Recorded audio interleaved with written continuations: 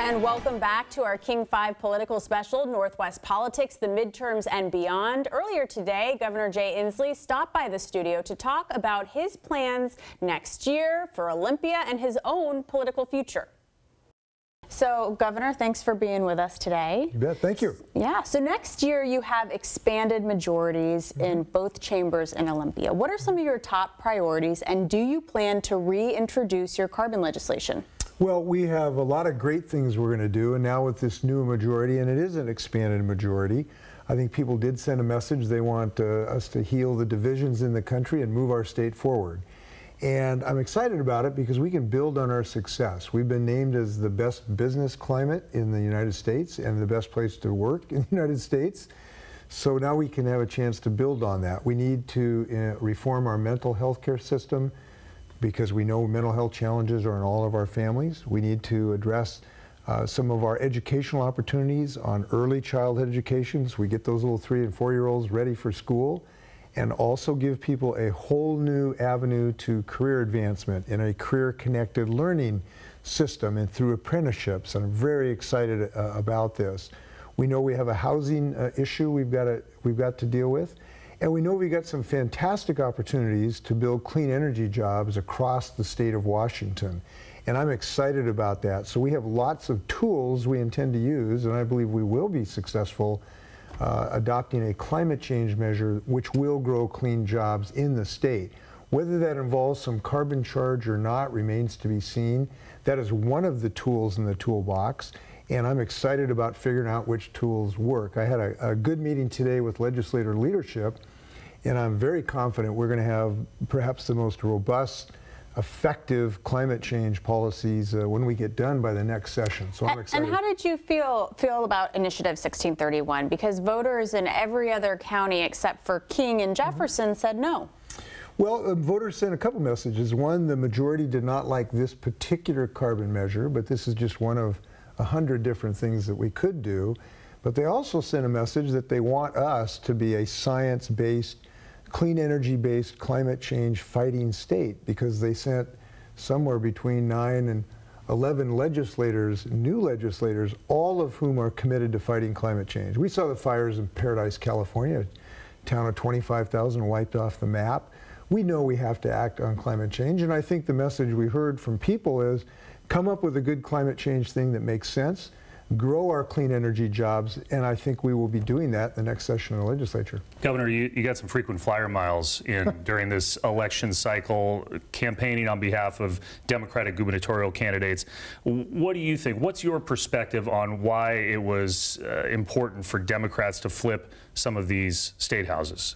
Well, a variety of reasons. One, it's a benefit uh, from Washington's standpoint to have partners in these other states, partners that can stand up against the Trump administration when they're doing things that are hurting our state, partners when we adopt policies on clean energy and the like. So it's important for our state, but it's important for the nation to be able to stop the gerrymandering that has gone on that has been so insidious that really is a virus on democracy which prevents people from being able to choose their own member of the U.S. Congress.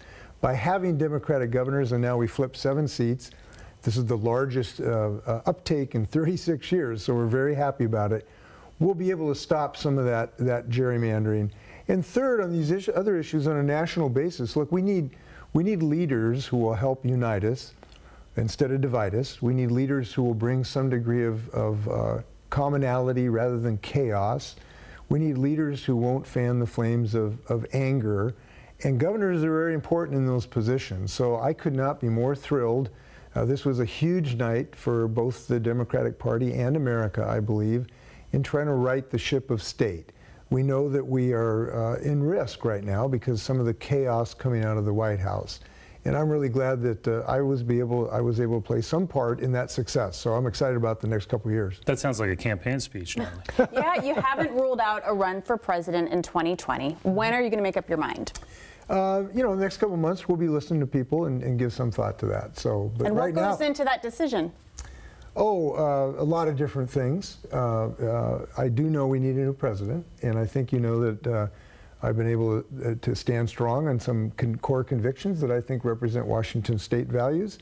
And uh, if I were going to run, uh, I assume it would be it would be based on those values. But right now, we're, I'm still trying to get some people elected. We've got to make sure we count these votes up in these last two legislative seats. So you haven't rented office space in Iowa City yet? no, we're, we're still uh, counting votes in uh, Mount Vernon. and would you like to make an announcement on this show? yes, I'm excited about uh, your future. And that's a tease. We'll talk that's about that. Tease. We'll talk about later. that. But let's talk about show. 2020 uh, with Marco and Bill. Uh, what do you think the landscape looks like, both on the federal level with a candidate potentially like Jay Inslee or others, and also here on the state level?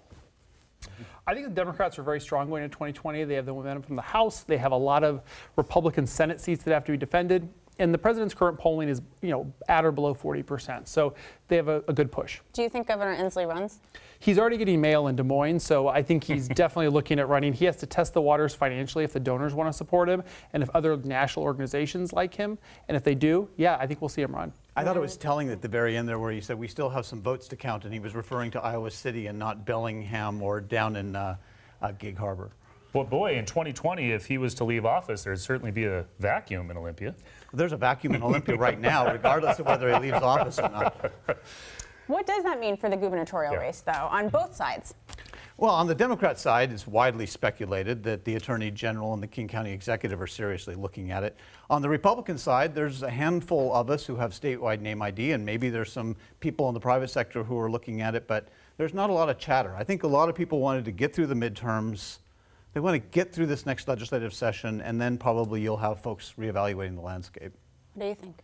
Well, I think that there is, uh, you know, for the Republican Party, the bench is pretty shallow right now, but I, I don't think a fresh face would be bad either. So if they had a state legislator that wanted to take the shot, that would be the year to do it. The, the key is there is momentum. I'm not disagreeing with Marco, but there also is this void or gap in Olympia that could be filled.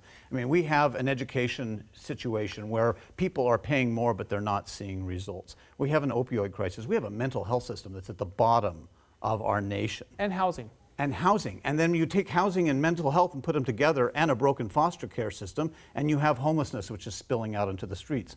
These problems have gotten worse over the last six years.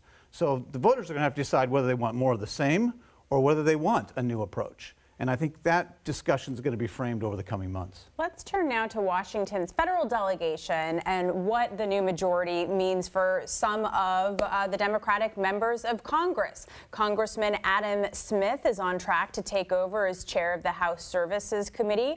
Congressman Rick Larsen has his eye on chair of the Aviation Subcommittee.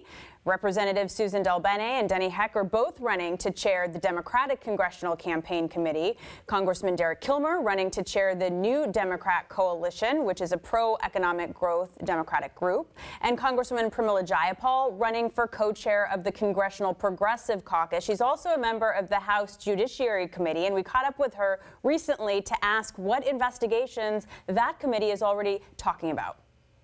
We are going to have to immediately make sure that we protect the special counsel's investigation um, and make sure that we allow him the full latitude to get us the results of that investigation. We have been asking for investigations that are around um, specifically the emoluments clause and the issues of conflicts of interest that the president has continued to have because he hasn't given us his tax returns. We don't know what financial interests he has.